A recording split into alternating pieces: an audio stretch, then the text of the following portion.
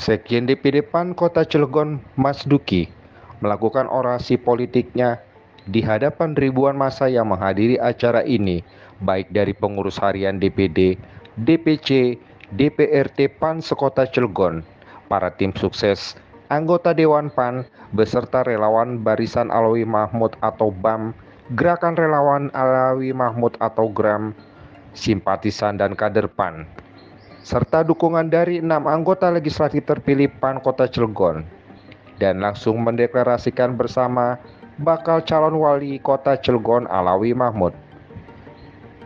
Berikut orasi politik Sekjen DPD PAN Kota Cilegon Mas Duki.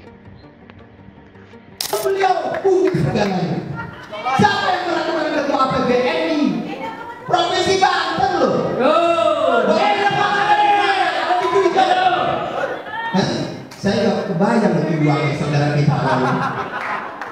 Menyalahkanku. Hikmah. Maka politik Partai Amanat Nasional adalah dengan hikmah.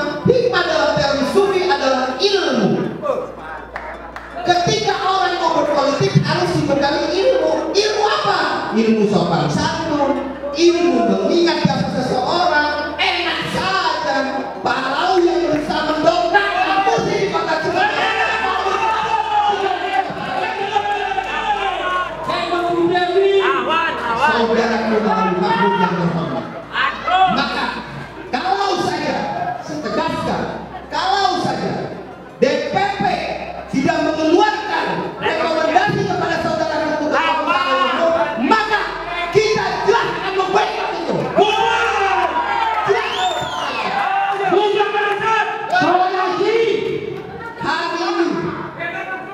Hari ini, saya mohon izin juga besok mau punya tidak capek? Demi seorang ketua DPD, jangan terhangkah Dari mulai DPC saya beliau berbarengan dengan beliau. Dari mulai DPRD saya dibimbing oleh beliau. Dari mulai masuk ke, ke DPD saya dibimbing beliau. Makanya ketika beliau siap maju untuk menjadi calon wali kota, maka kita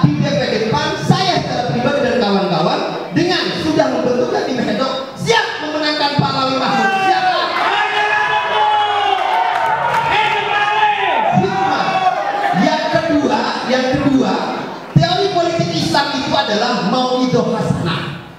Contoh yang. Tidak ada dicontohkan dengan kata-kata sombong tidak ada.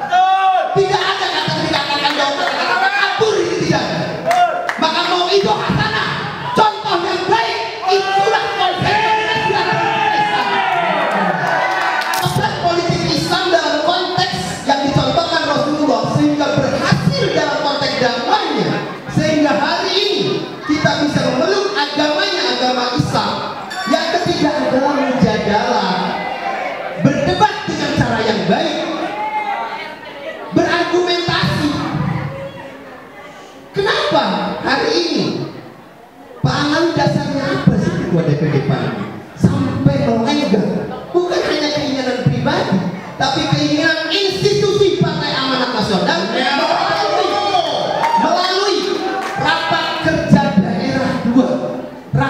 raker dan dua landasan hukumnya ada ada.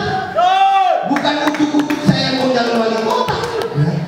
jelas diatur dalam anggaran-anggaran dan anggaran dasar anggaran rumah tangga maka tahapan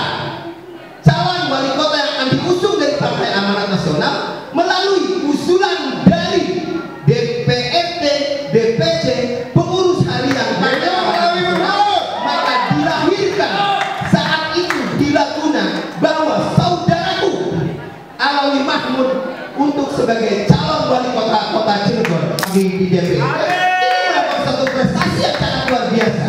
Maka seluruh kader semua tingkatan DPC, DPRD semuanya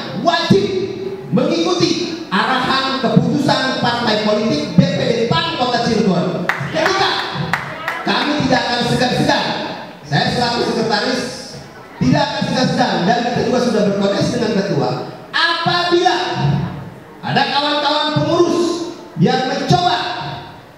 Yang mencoba bermanuver. Tidak mengikuti arah kebijakan partai maka kami tidak akan segan-segan memecahnya.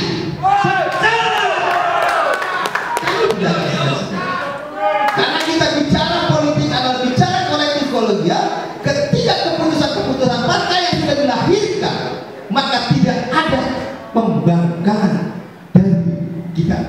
Itu.